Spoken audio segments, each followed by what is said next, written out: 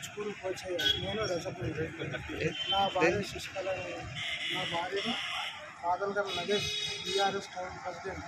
అయిన అతను రాత్రి తొమ్మిది గంటల సమయంలో నా భార్యపై అత్యాచారానికి ఉడిగట్టి దిగారి మొత్తం అత్యాచారం చేయడానికి ప్రయత్నించింది. అత్యాచారం చేయబోతే నేను మీ ఆయన పైకి దాడి ఆయన పైకి వెళ్ళినాను పడుకోవడానికి వెళ్తే ఆయన నా పైన ఇక్క ఇక్క తీసుకొని కాల్చిన కొడితే మూడు ముక్కలు ఇటుకలతోటి కర్రలతోటి కొట్టే మూడు ముక్కలు ఒక గరీబోళ్ళకి ఇట్లాంటి పరిస్థితి ఉంటే ఇంకా మాకు ఏం చేస్తారు? ఒక ఎమ్మెల్యే అండ చూసుకొని ఒక టీఆర్ఎస్ పార్టీ చూసుకొని మాకు చాలా దీని పరంగా ఇచ్చేస్తుంది. మా గరీబులకు మా దళితుల పైన బాగా దౌర్జన్యం చేస్తుంది. టీఆర్ఎస్.